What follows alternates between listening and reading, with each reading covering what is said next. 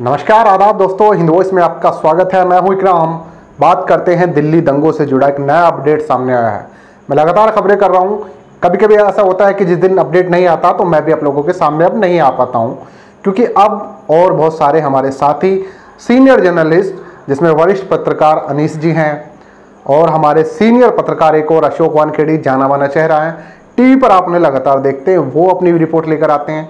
Advocate Mahmood Pracha, advocate Z के Faizan sir, Ravinder sir और हमारे साथी शिवम राजा, ये आपके सामने लगातार न्यूज़ कर रहे हैं।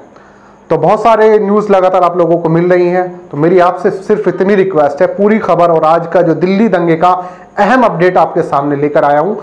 जैसा कि आप थंबनेल देखकर कुछ कुछ समझ गए होंगे, उस पर जाने से पहले अपील ये है कि चैनल को ज़्यादा से ज़्यादा सब्सक्राइब ज़रूर करें, अपने दोस्तों को बताएँ, शेयर करें आपस में और हमारा ये चैनल नॉन प्रॉफिट चैनल है, हमारी कोई एक्स्ट्रा अर्निंग नहीं है।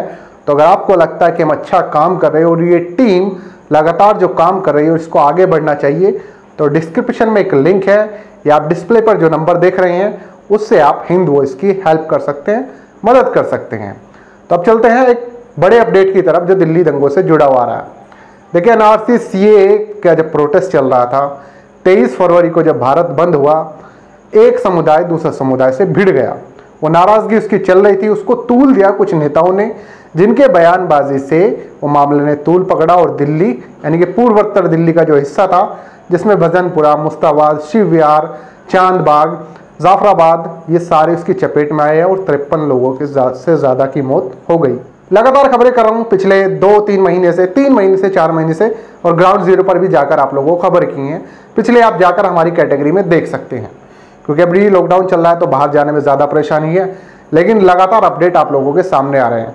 देखिए, पिछले अपडेट में मैंने आपको बताया था कि दिल्ली दंगों में बहुत सारे वैसे लोग गिरफ़्तार किए जा रहे हैं जो नॉन मुस्लिम है, क्योंकि पहले आरोप लग रहा था दिल्ली पुलिस पर कि पुलिस जो है एक तरफा कार्रवाई कर रही है। ये हमने नहीं लगाया था, बहुत सारे सांसदों की ऑनलाइन भी प्रेस कॉन्फ्रेंस हुई थी, जिन्होंने आरोप लगाया था, बहुत सारे सोशल एक्टिविस्ट की, जिन्होंने आरोप लगाया था कि दिल्ली दंगों में मुसलमानों की गिरफ्तारी एक तरफा हो रही है। एनआरसी सीए के प्रोटेस्ट करने वालों पर भी यूएपीए कानून लगाकर उन्हें जेल भेजा जा रहा है, जिसमें जैसे सफूरा जरगर, मीरान खालिद, उमर खालिद खालिद सैफी, ये सारे लोग जिन पर यूएपीए कानून लगाया गया था, जेल गए हैं। और अब पिछले एक महीने से आपने देखा होगा दिल्ली दंगों में पुलिस की जो कार्रवाई थी, अचानक परिवर्तन देखने को मिला।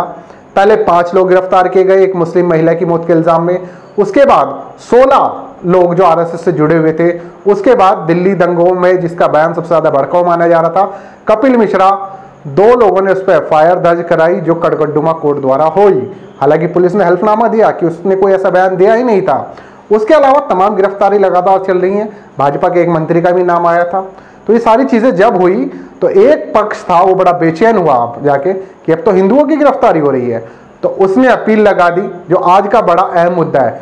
उसने अपील लगाई तो दिल्ली पुलिस के जो स्पेशल कमिश्नर हैं, उन्होंने आदेश दिया कि हिंदुओं की जो गिरफ्तारी हो रही है ना, थोड़ा ध्यान रखें, एहतियात बरते, ऐसा ना हो समाज, दूसरा समुदाय नाराज़ हो जाए, उसमें रोष फैल जाए तो थोड़ा ध्यान रखें, क्योंकि जो प्रतिनिधि हैं आसपास के, उनका ये कहना है कि हिंदुओं की गिरफ्तारी हो रही है और बिना किसी जाँच पड़ताल के हो रही है। जब एक तरफा कार्रवाई चल रही थी, जैसे लोगों कहना, तब ये लोग कहाँ थे? अभी जो पुलिस कार्रवाई कर रही है, वो भी सबूतों के पग उस पर ही कर रही है, आधार पर कर रही है, जो गिरफ्तारी हो रही है, जिनका, जिनकी फुटेज आ रही है, या जो भी सबूत जहाँ से हाथ लग रहा है, पुलिस के आधार पर गिरफ्तारी कर रही है। लेकिन अब कुछ लोगों को इस बात पर राजनीति करनी है तो पहुँच गए। और अब इसमें जो प्रवीण रंजन है, कमिश्नर, दिल्ली पुलिस के स्पेशल कमिश्नर जो हैं, उन्होंने बाकायदा एक अधिकारियों को आदेश दिया है कि आप जो है हिंदुओं की गिरफ्तारी पर थोड़ा एहतियात बरते।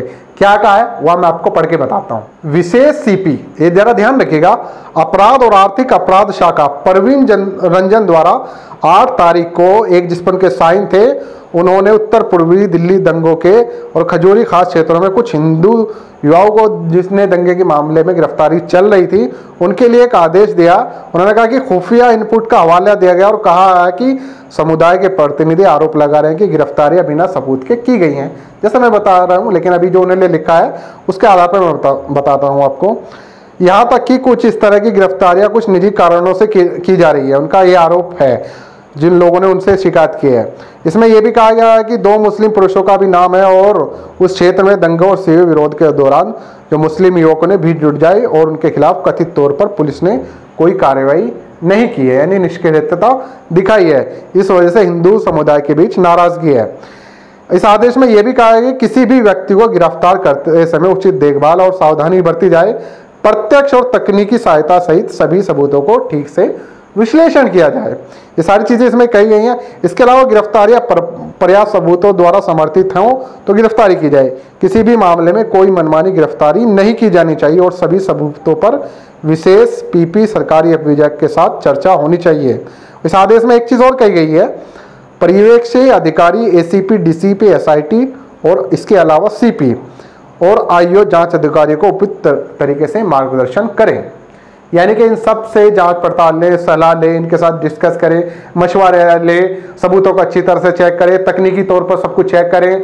उसके बाद जाके हिंदू लोगों की गिरफ्तारी अगर हो सके तो करें, क्योंकि इससे दूसरे समाजों में रोष फैल रहा है।